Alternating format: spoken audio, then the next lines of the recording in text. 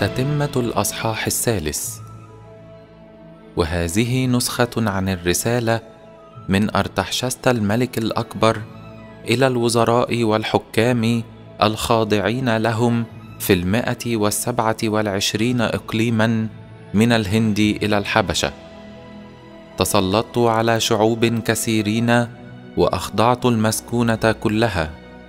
ما أردت أن أساق بالاعتداء الناتج عن قدرتي بل تصرفت بالرحمة والحلم ليقضي عبيدي حياتهم بلا خوف وتكون طرقات مملكتي آمنة من الحدود ويتمتع الناس بالسلام الذي يصبو إليه كل بشر. فسألت المستشارين لدي كيف يتم ذلك فنهض واحد منهم يفوق من سواه في الحكمة والأمانة وهو الرجل الثاني في المملكة واسمه هامان.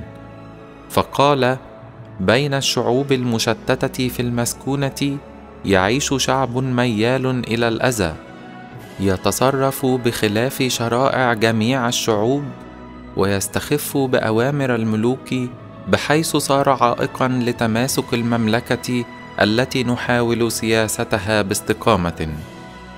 فلما تيقنا أن شعبا واحدا يخالف سائر البشر يعيش منفردا ليتتبع شرائعه الخاصة وأن عداءه لقضايانا يدفعه إلى اقتراف السيئات فيقلق السلام في الأقاليم.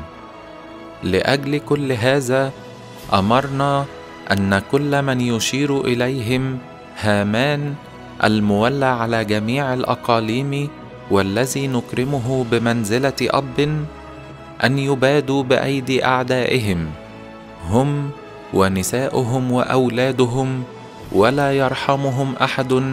في اليوم الرابع عشر من الشهر الثاني عشر شهر آذار من هذه السنة حتى إذا هبط أولئك الميالون إلى الأذى إلى الموت في يوم واحد يعود إلى مملكتنا السلام الذي أقلقوه.